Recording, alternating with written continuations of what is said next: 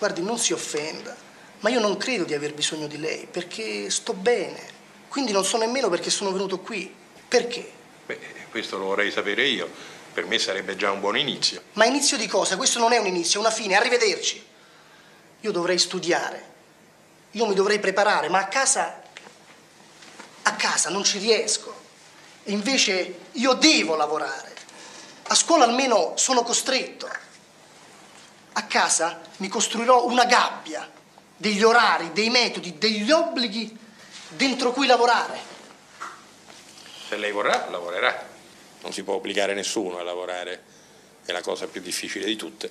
E invece io mi legherò alla sedia. E lo farò perché devo farlo, non perché voglio diventare uno di quegli uomini soli, però bravi, autonomi, efficienti, che magari sanno cucinarsi gli spaghetti alla... Alla? Ma alla che? Ma che c'ha fame, scusi? Dicevo per dire. Comunque lo vuol sapere il mio problema? Non mi piacciono gli altri. Ora che gliel'ho detto. Chi non le piace, per esempio? E ho una lista qui dentro.